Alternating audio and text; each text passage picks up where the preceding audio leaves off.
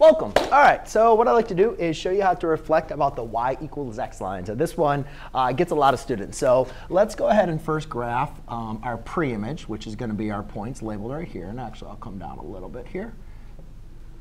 OK, so plotting these points, we know here's our y-axis and here's our x-axis. So A would be 1, 2, 3, 4, 5, 6, 1, 2, 3. A, B is at 4, negative 2, 1, 2, 3, 4, negative 2 and C is at 0, 4. OK.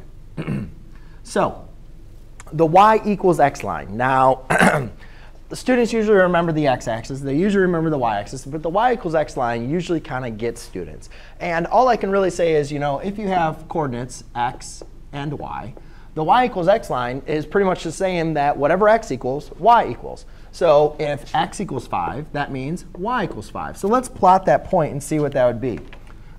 so 1, 2, 3, 4, 5, up 5. 1, 2, 3, 4, 5.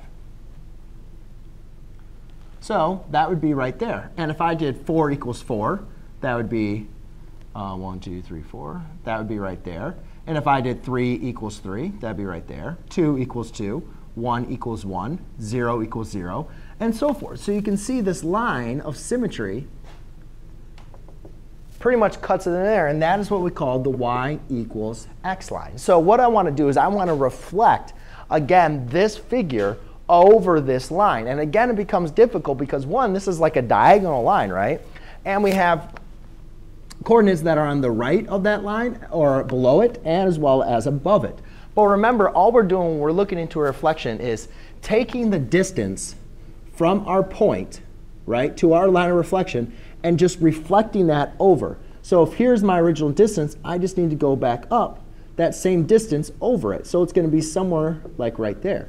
Now there is a rule with the coordinates that we can look at because for any two coordinates that I have for my A, B, and C, to determine what the new coordinate is going to be, all I'm simply going to do is swap my x and my y coordinates. So therefore, my if here's my pre-image, my new image is, even though they're still going to be x and y's, I'm just going to swap them. So now it's going to be 3 comma 6. So you just take your x and y coordinates and swap them. Now again, you're still going to graph this as that's the x coordinate, that's the y coordinate. But I just want, I use this notation to show you that you're just swapping the coordinates. So therefore, b prime is going to be negative 2, 4. And c prime is 4 comma 0. So now we can, so now we know what the new image points are. Let's go and plot them. So A is 3, 6. So 1, 2, 3, up 6. 1, 2, 3, 4, 5, 6. And you can see I was pretty close. So that is now A prime. B prime is going to be at negative 2, 1, 2, up 4. 1, 2, 3, 4. And then C prime is now at 4 comma 0. 1, 2, 3, 4. And now I can just connect these. And you can see, ladies and gentlemen, that um, even though it's not the you know, best percent, but these two triangles are exactly the same, just all it is is flipped over this y equals x line. So I know the y equals x line you know, confuses you know, a lot of students a lot of times, but just remember all you're simply doing to find your new points is swapping the x and y coordinates and then graphing accordingly. So there you go, ladies and gentlemen. That is how you reflect over the y equals x line. Thanks.